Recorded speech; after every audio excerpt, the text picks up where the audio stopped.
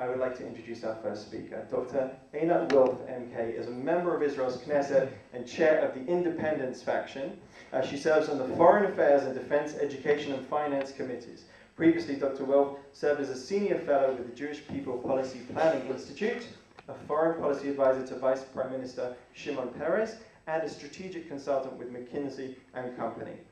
Dr. Wilf served as an intelligence officer in the Israel Defense Forces and holds a BA in Government and Fine Arts from Harvard, an MBA from INSEAD in France, and a PhD in Political Science from the University of Cambridge. She's also the author of two books, and she will be very pleased to address an audience which, unlike in the Knesset, were not interrupted during the middle. Please welcome MK Dr. Einat Wilf.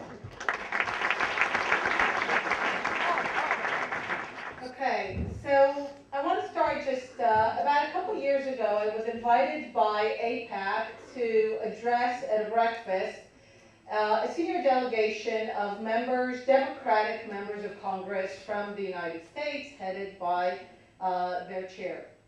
And I was asked to give a talk about the history of Zionism. Now, I looked at it as a very straightforward mission. I explained Zionism without thinking that I'm on a mission uh, to do something about it. I explained Zionism the way I was taught it, the way I saw it, a movement of national liberation, the assumption of responsibility by the Jewish people, uh, the remarkable idea that was followed by young people from around the world to create the country, uh, the utopian visions that were associated with it, and so forth. At the end of the talk, the head of the delegation, a senior member of uh, Democratic Congress, me the question. Says, the way you describe Zionism, it sounds very nice. Why does it have such a bad reputation? And in a way, that was a very shocking question to me that someone would find it odd that what I viewed as a very straightforward description of the history of Zionism would be considered in a way so jarring to people who have been accustomed to, as you described it from Google, to have it associated with all that is evil in our world, all the values that we reject. So, first of all, we really need to acknowledge that there is a fundamental problem that what Zionism is, before we need to reimagine it and refresh it and rethink it, what Zionism is, is good. And the fact that that, that itself is not the case today, that is a battle that has to be fought even before we talk about reimagining Zionism for the future.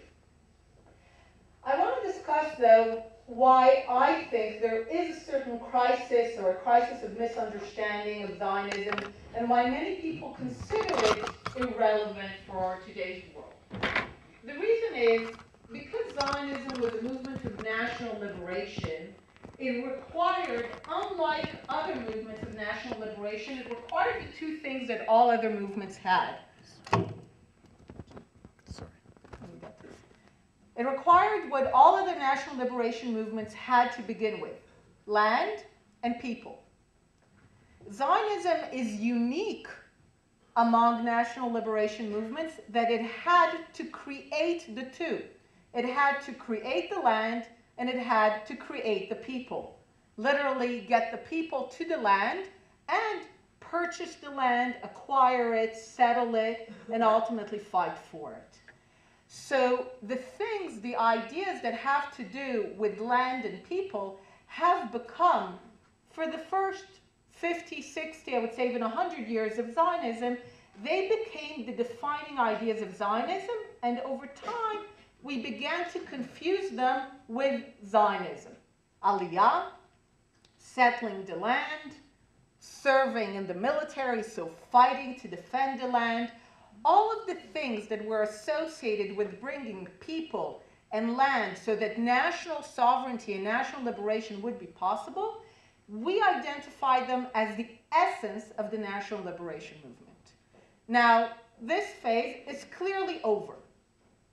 Uh, the phase of Aliyah is over in the sense that there are no more plane loads of Jews to rescue in the middle of denied and bring to Israel. If people make Aliyah now to Israel, they do so on an individual basis. Israel today is home to the largest and pretty much the only growing Jewish community. So, in terms of getting the people here, we could say we're pretty much done. We're there. We could always do a little more, but check mark on that. In terms of the land, we bought it, we got it by United Nations mandate, then we, we settled it, we fought for it, we acquired it, we conquered it. If anything, right now Israel is in the process of receding from some of that land. So even though that is one of the most contentious issues, still the question of the acquisition of more land so that the Jews can have a place where they are sovereign, that is over as well. Because these two things are over, there is a sense of crisis that Zionism is over. But these were not Zionism, and they were never the essence of Zionism. They were merely the basis from which Zionism could begin to operate. And ultimately, Zionism was always about the utopian ideals that came with it, about the fact that the renewal of sovereignty of the Jewish people would, be, would mean something remarkable for the world at large, but also for the Jewish and specifically for the Jewish people. What does it mean to have moved from a people whose institutions were built over centuries and millennia for non sovereign existence into a sovereign existence. Now, I have some pretty radical ideas about what that should mean, but maybe that will be for the second part. Sounds good to me. Absolutely. So, this is in short why I think there is a misunderstanding on the crisis of where we are today. And I think rather than a misunderstanding of the crisis, this is an opportunity to truly begin to cut to the core of what Zionism was always meant to be about. Thank you. Thank you.